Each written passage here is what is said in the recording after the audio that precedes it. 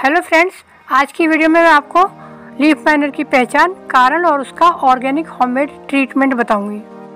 आप ये जो पत्तियों पर व्हाइट कलर की लाइन देख रहे हैं, ये लीफ माइनर की पहचान है।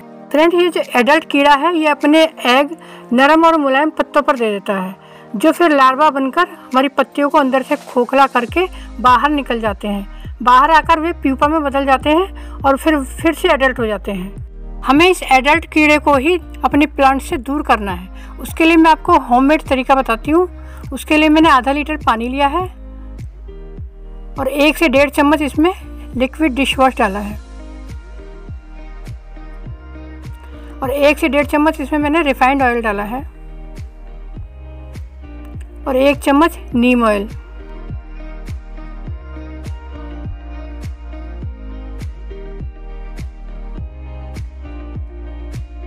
और इसको अच्छे से घोल लेना है। और पत्तियों पर अच्छे से स्प्रे करना है। ये ट्रीटमेंट आपको प्रॉब्लम शुरू होते ही शुरू कर देना चाहिए। ये स्प्रे हमें एक दिन छोड़कर एक दिन करना है, दो तीन बार करना है कम से कम।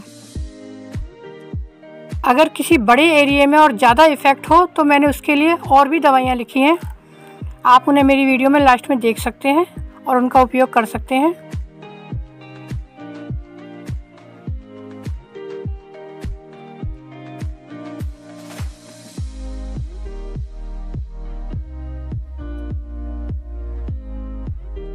कुछ और भी दवाइयाँ हैं जैसे स्पिनोसेड प्रोक्लेम एक्टारा बेनिविया आप इनका इस्तेमाल करके भी लीफ माइनर की प्रॉब्लम से छुटकारा पा सकते हैं। आपको मेरी वीडियो अच्छी लगी हो तो लाइक करें चैनल को सब्सक्राइब करें।